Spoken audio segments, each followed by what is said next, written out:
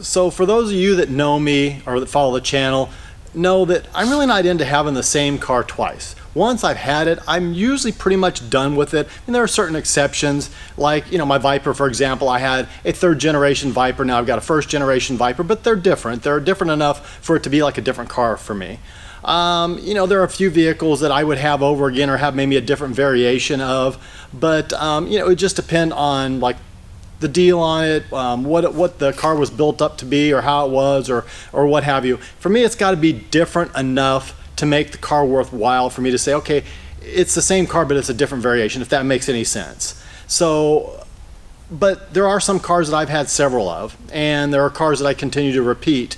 Um, Corvette is one of those vehicles. Now, I've had a number of different Corvettes all the way from uh, C2, which is behind me, up to a C7, and um, a lot of them in between. By my calculations, I've had 16 Corvettes, and like I said, I've had the C2, a C3, uh, several three C4s, um, a lot of C5s, really a lot of C5s. I think like seven or eight, and uh, a couple C6s, a couple C7s. But there was one Corvette in particular that just keeps showing up in my shop. I keep finding, I keep running into. Uh, I just, it's like I can't get away from the car, and I really don't mind that. And I think for those of you that do follow the channel, know me well, you'll know exactly the Corvette that I'm talking about. That's right, the C5Z06. This is the new acquisition for the shop, 2001 Chevrolet Corvette Z06. So you might ask yourself why I did it again, why another C5 Z06? Well, quite frankly, that right there. Yes, this bad boy has a ProCharger on it. You might remember the last video I was talking about how horsepower kind of spoils you. And so I've been looking for something a little bit more. Um, my Camaro's fast. I mean, 620 horses nothing to sneeze at, and it's definitely fast. I guess this is kind of a different kind of fast, if you will. And so I got on a Z06 kick, an actual C5 Z06 kick, because last Sunday out of my Cars and Coffee, uh, I had a buddy of mine show up with his, and he's wanting to sell it. Now his is a 2003. Uh, it's a built motor, built suspension, transmission, everything. It was built for the track. Um, it's got twin turbos on it and it's a lot more powerful than this one. I think it's pushing about 750 at the wheel and it's not even turned up. It wouldn't take much to turn it up and he said easily a thousand to the wheel. That thing was absolutely insane. Went for a ride in it and I was very, very impressed with it. I was tempted to buy it because it is for sale, but um, it would have needed paint and a few other little things. And I just felt like by the time I spent the money on the car and the money on the paint job, I would have been upside down in the car. And you guys know me, I don't keep them that long. So um, I don't think this one's going to stay around forever for just a little while, but um, it just didn't seem financially feasible to me, although I do continue to think about that car. So as I said, I looked at that one on Sunday. Well, Sunday evening, another car buddy of mine sends me a picture of this car. And of course, he just sends me a couple of pictures and I said, is it stock? Then he sends me a picture of the Pro Charge, and I'm like, oh, that's interesting. And I know he wants to sell it. I know all basically all his stuff is for sale. He's got like 80 plus cars and just about everything is for sale. And he and I have done some deals before. We've traded. I bought a few vehicles from him. So I know he has good stuff. I know he's a fair and straight guy. So I said, okay, I'm interested. And we talked back and forth a little bit. And lo and behold, last weekend I went down, paid him the cash, and bought this car. Um, that does mean I'm up to 21 cars, which means I still need to get rid of something, i.e. the Firehawk. May have something going on with that here um, later this week, but I'll keep you guys updated. But this particular car, um, like I said, it's an 01, the first year that they made them, 385 horsepower, so not quite as good as the 02 through 04, which is a little bump in horsepower, but not a real big deal. Um, these also didn't have the heads-up display, which the later models did. Again, it's nice to have, but I notice I don't really use it when I'm driving the car, so not a big deal. And besides, my XLR's got heads up, so I don't really need it. What's more wanting? Um, but this car's super clean. This car, it came out of Arizona. It's got 46,000 original miles. And quite honestly, nothing's been done to this car other than the ProCharger. And I noticed that whoever owned it before did upgrade the brakes. Uh, it's got Wilwoods all the way around, six piston on front, four piston on the back. Uh, but other than that, this car is just completely stocked it's got the uh, wrapped hood and of course you can see the aftermarket headlights which I'm not overly crazy about. Got the stock headlights in the trunk. I may change them over or I may have Eddie change them over. I haven't really decided yet but other than that inside out this car is just completely stock. Um, other than a few small blemishes in the paint it's it's really in great shape. I mean for a 21 year old car Well, let me walk you around it real quick. White is very easy to keep clean, as you can see, but car shows very, very well. The rims are in awesome shape. Uh, they look like they've been recently powder coated. The tires are fairly new and in really good shape on this car. And, you know, the car really, I just can't complain. Uh, especially Corvettes, they're known to get a lot of rock chips in the front. And there's a few little blemishes if you look really close, but overall the car is just in really good shape. The worst mark that I have been able to find is right there. And then you can see down below there on the, the door so, and that, truthfully, that might actually buff out if someone put a little effort into it. But the car is just super, super clean, runs good. Everything seems to work on it. Inside is just as clean. I mean, even the bolster really has no wear to it on these seats. It's kind of dark, I know. It's always dark in here, and then I always get the dark interiors. But the car is just really completely stock. Um, it's actually kind of a sleeper. So I let's start this car up for you and show you guys that it's very much a sleeper, if a Z06 can be a sleeper.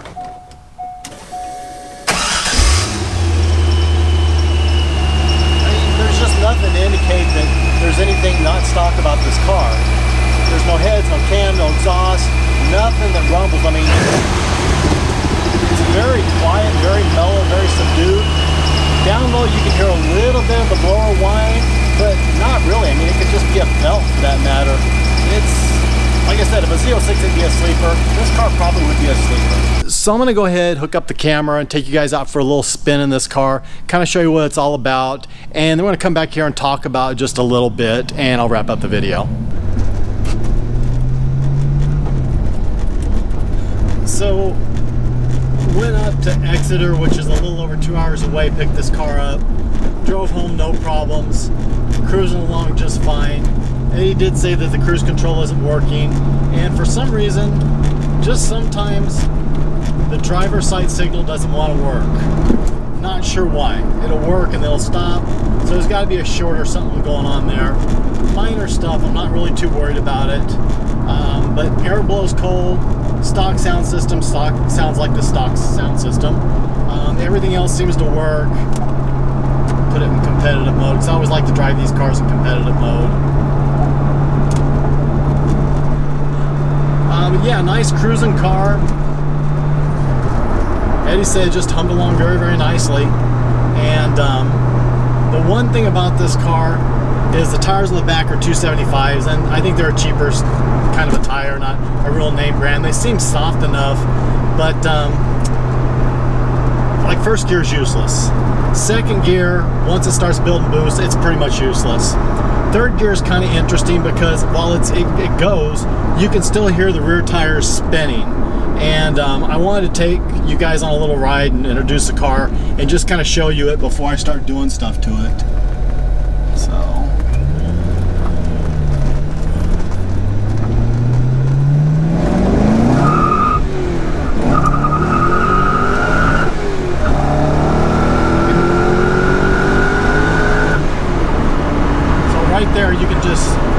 feel it. Coming up on the car in front of me way too fast and shifted my camera angle over a little bit. This car has definitely got some punch to it. Um, it, it definitely gets up and runs. I've driven it very little. I've taken around the block one time and I test drove it when we went to Exeter to pick it up. So um, hopefully that camera angle doesn't throw you guys off. I can do like this. So um, this thing does suffer from the dreaded dead clutch that these things do get. I can feel it right now. And I just changed the fluid on it, but uh, that didn't seem to help. I think I'm gonna need a little stiffer return spring. But um, yeah, go for a little drive. It's got three quarters of a tank. But I mean, the nice thing is you just can drive this car and just cruise right along in it. No problems at all. Sounds completely stock. Almost too stock.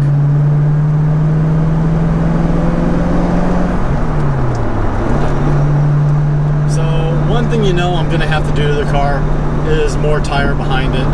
Um, and I'm going to need a stickier tire, that's for sure. So you guys know which direction I'll go on that. But um, I'll talk more about the car and more about my thoughts and what I'm thinking that I probably will do. There's there's what I would like to do to it and what I will probably realistically do to it. So we'll talk about that after we get back to the shop. I got to run this thing out a couple more times. It's, that was fun. So I was going to step into it, do another spirited run for you guys, but there's cars up ahead. I'd be up on them before I knew it. So I'll just go ahead and talk about my plans for this vehicle and kind of wrap up the video as I'm driving. Um, what I will more than likely end up doing going the cheaper route because, you know, normally I don't keep these cars that long and it would be stupid for me to dump a bunch of money into this car knowing that I'm probably going to get rid of it in six months to a year, if that. So my plans for this car is obviously I do want to put uh, some sticker, stickier and wider tires on the rear end of it. Um, obviously some Toyo R888s, I think a 305 will fit under there very nicely and get this thing to hook up a little bit better. Um, I do want to upgrade the sound system. The stock sound system just will not cut it for me. So, you know, the typical Bluetooth, uh, subwoofer, amp, that type of thing. And um, probably want to stick a um, like a, a, small wing on the back just to give the back end a little bit of flair. That 03 that I looked at over the weekend, it had a little bit of a wing and it looked really, really good. I liked it. It was subtle, not overdone. And then this car needs to come down a little bit. Uh, these cars can be lowered on the stock bolts. You get them down about an inch, inch and a quarter. And this thing definitely needs to come down with it being stock height. That is what I will probably do to it. If I were going to keep this car and I were really going to build it, um, I would probably do fender flares in the back. I'd probably go with like a newer Z06 or even ZR1 type wheel. Try to fit some like 325, 335s in the back. Um, I would do a flat bottom steering wheel. I would probably do some Corbeau seats in here then of course all the other stuff that I'm talking about doing, you know, I would actually build it up a little bit and I would probably take it down to a shop and just have them do a little tinkering. Um, I would have them put a boost gauge in because this doesn't have a boost gauge or an air fuel. So probably do pillar gauges here and maybe try to build it up and shoot for right around 550, maybe 600 wheel horsepower. I think the stock drivetrain's pretty good with that, but I would have to upgrade the clutch. That is one of the Achilles heels on these cars is the clutch. Every C5 Z06 I've ever had, the clutch, after just a, just a couple little runs, banging through the gears, uh, you get that dead clutch feel. And those you that have driven these cars, you know exactly what I mean. You know exactly what I'm talking about. Uh, the clutch is just, it's just not good. Feels like it's going out, but it's not. And um, that's kind of the bummer about this car. But other than that, you know, it's it's a fun car and it's got plenty of power, plenty of go. Um,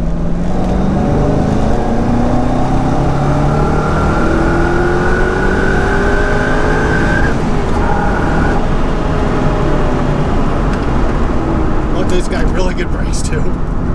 But yeah, it just once that building boost, you really feel this thing come on, and it it just like starts sucking you back in the seat. I was looking at me about 80 miles an hour. It was just starting to suck me back in the seat. It goes. It definitely goes. But now the clutch is, even just that little bit, the clutch is just stuck down a little bit. It's kind of sticking. I just, I don't like that. And I don't want to spend the money and put a clutch in it. But if I have to, I will. Um, like I said, I did drain all the old fluid out and put new fluid in, hoping that would help. Doesn't seem to have helped much at all, if any.